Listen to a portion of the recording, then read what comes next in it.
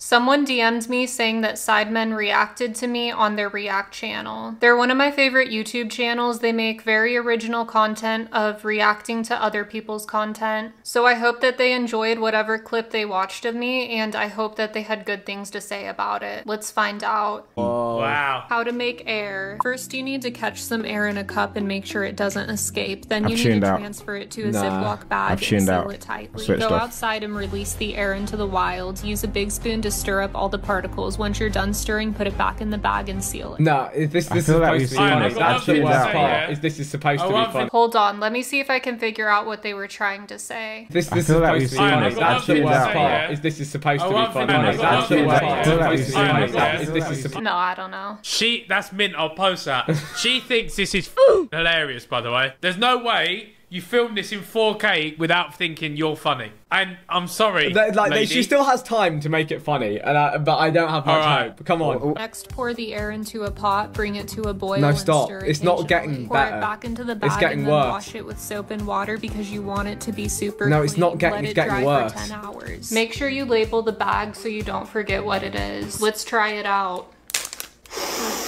That's some good air.